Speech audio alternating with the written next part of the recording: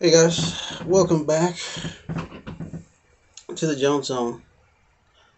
Today I uh, wanted to share a dream with you that I had, and uh, you know, there's just there's a lot of dreams that I have, and I, I'm I'm I'm always under some kind of uh, spiritual attack. I have a lot of dreams.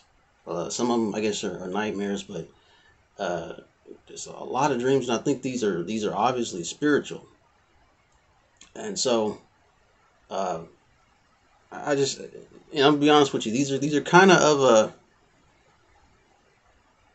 sexual nature, but they're not explicit or anything like that.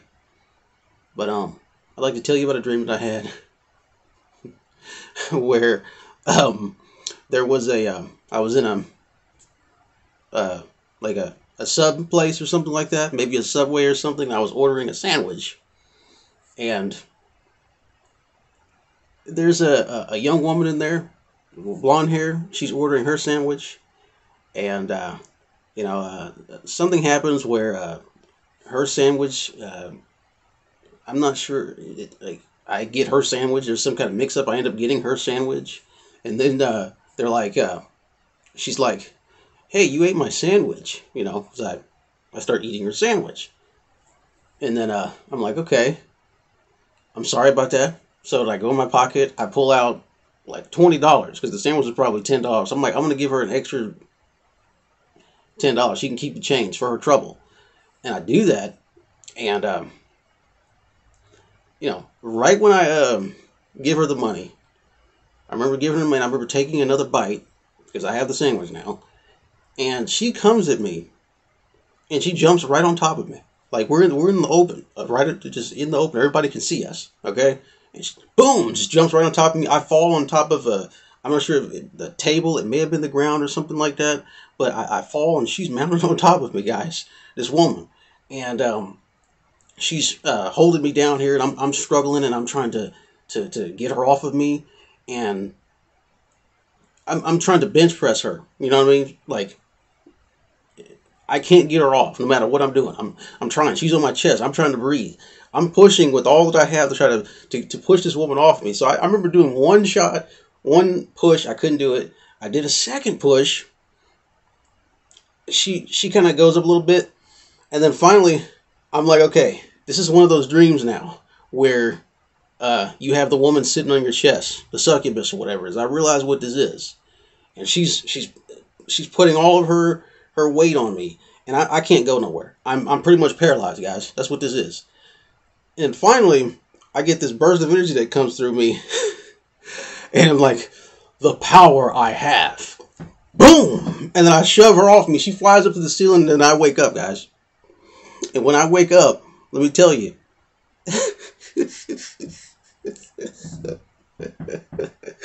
I felt I felt amazing. I felt like that the strength that I had coursing through me was so powerful that it must have been God. It was not my strength to do that.